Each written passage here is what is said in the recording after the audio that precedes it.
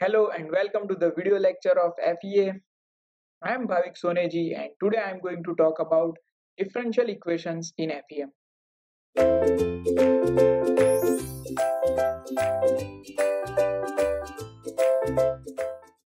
In the previous videos, we have seen what is FEA, various advantages and disadvantages of FEA, basic steps in FEA, and what are the various phases of FEA and how an engineering problem can be converted into a mathematical formula. So let's understand what is differential equations in FEA. So let's get started. So any engineering problem can be converted into mathematical formulas. You might have seen formulas like this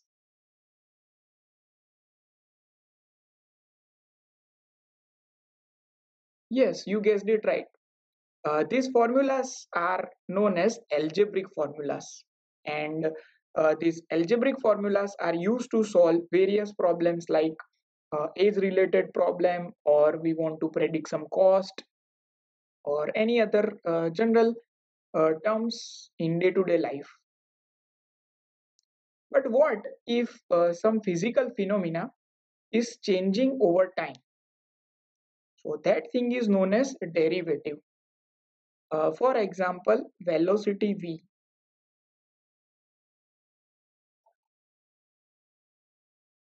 What is velocity? Velocity is nothing but the uh, change in displacement in any one direction, let's say x over time.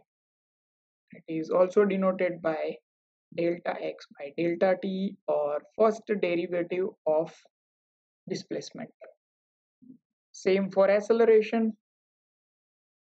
Acceleration is rate of change of velocity that is derivative of velocity. So A is equal to dv by dt. It is also written as del v by del t or it is also represented by second derivative of displacement. So any physical quantity which is changing over time or any other phenomena is known as derivative and any equation which carries this kind of derivatives are known as partial differential equation. So these partial differential equations are nothing but the equation which is having some derivative inside it and uh, this is these differential equations are everywhere. Like in biology if we want to find some spread of bacteria so the growth rate of bacteria can be uh, represented by this kind of equation or in any chemical reaction how rapid the reaction is going to do or how the uh, uh, decay of uh, carbon in uh, any reaction that is represented by differential equation. Uh, in physics, if you want to find out force, force is equal to mass into acceleration, where acceleration is nothing but the second derivative of displacement. So d square x by dt square. So in the equation of force itself, it is the differential equation. So these differential equations are used to uh, represent various physical phenomena in engineering field. For example, physics, biology, and chemical reactions. So let's understand uh, differential equations in detail basically there are two type of differential equations first is ordinary differential equation and second is partial dif partial differential equation. So what is ordinary differential equation? To understand it better first we have to understand what is dependent variable and independent variable. You know the general notation which is x y and z this is the spatial coordinate representation. These are the spatial coordinates and the time. Now you know this spatial coordinates does not depend on any other variable or the time. Time also does not depend on any other variable. So these two are known as independent variable.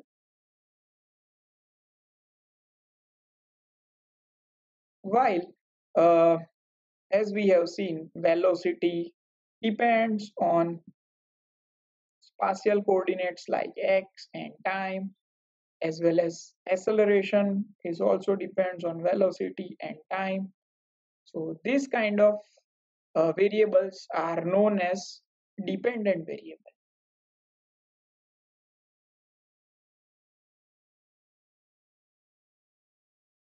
now you know dependent variable and independent variable.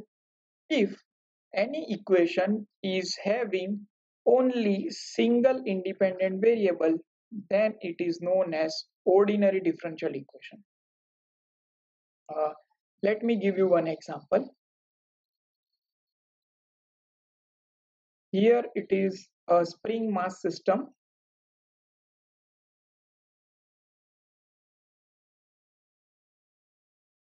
Here the mass m is attached with the spring which is having a k stiffness and it is oscillating in this direction.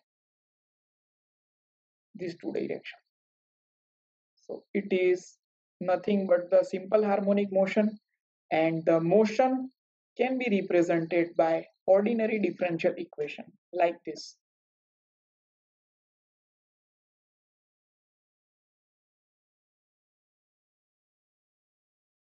So here, as you can observe in this equation, here the direction is x. If the spring is vertically hang, then instead of x, we can write here y. So here the spring uh, simple harmonic motion of a spring depends on the time t only. So here only one single independent variable is present inside the equation. So it is known as ordinary differential equation. Now let's understand what is partial differential equation. So the difference between ordinary differential equation and partial differential equation is partial differential equation is having multiple independent variable so instead of only one independent variable, there are two independent variable. For example, this is the wave equation or wave is propagating. So this axis indicate the time t and this is the amplitude of the wave in one direction we can take let's say we are taking y direction. So amplitude is changing over time like this. So if we want to represent the wave equation of this wave suppose by u. So u will be the function of y and t. y is a spatial coordinate and t is the time. So it can be represented like del u by del t equal to alpha del u square by t square. So here you can see the equation or the function is dependent on two independent variables y and t. So it is known as partial differential equation. So here the difference between ordinary differential equation and partial is it is having multiple independent variable while ordinary represents only single independent variable. So this is the difference between partial differential equation and ordinary differential equation. In day-to-day -day life, we are uh, more concerned about partial di differential equation and uh, let's understand partial differential equation in depth by one more example. So suppose we are heating one rod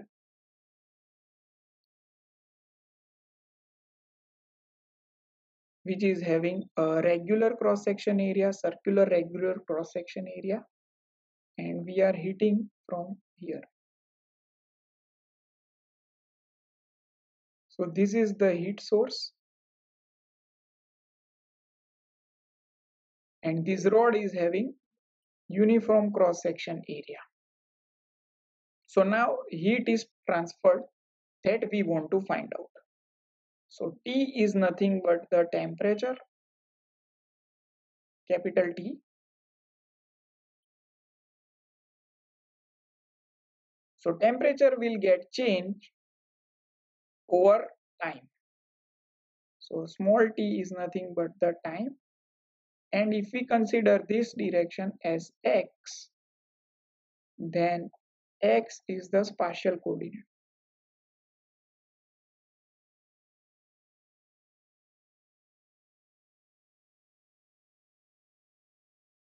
So now we want to uh, represent how the temperature is changing over time and as well as it will change over various points like this.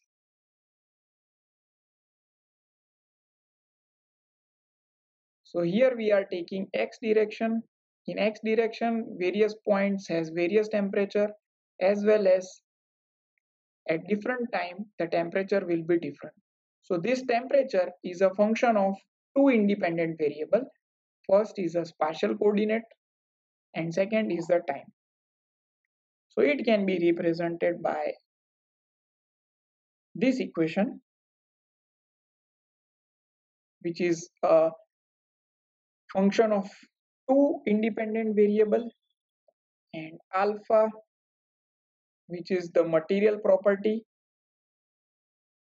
of body.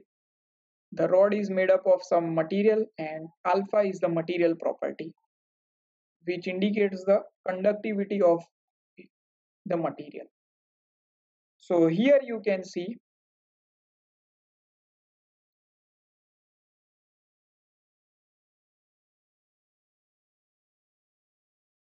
this equation is having more than two independent variables that is x and t. So it is denoted by partial differential equation and it is having derivative of it. So this is the one example of partial differential equation.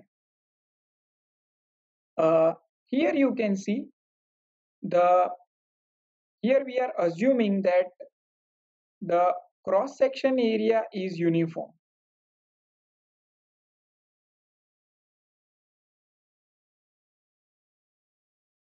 If this rod is having upper cross section area, then we have to consider one more spatial coordinate that is y, which is related to diameter.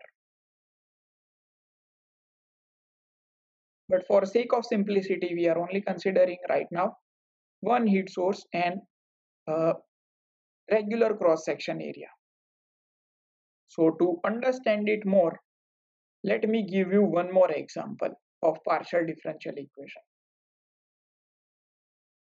Like heating of the uh, sphere or plate. So here you can see sphere and plate is a 3d object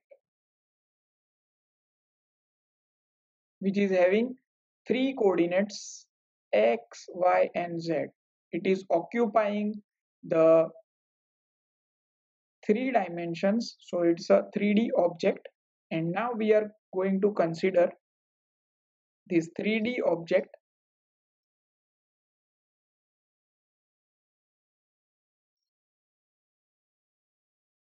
So we are uh, submerging a metal body which is having the shape of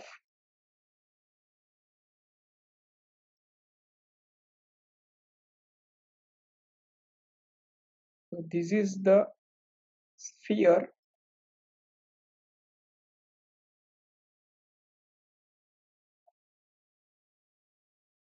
Sphere. And it is submerged into a hot water.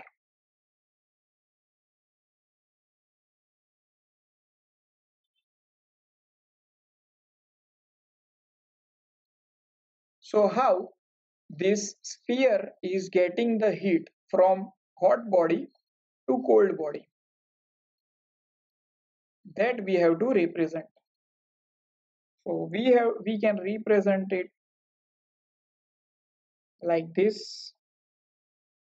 The temperature will get changed over time. So dt by d small t is a function of conductivity and three dimensions of a body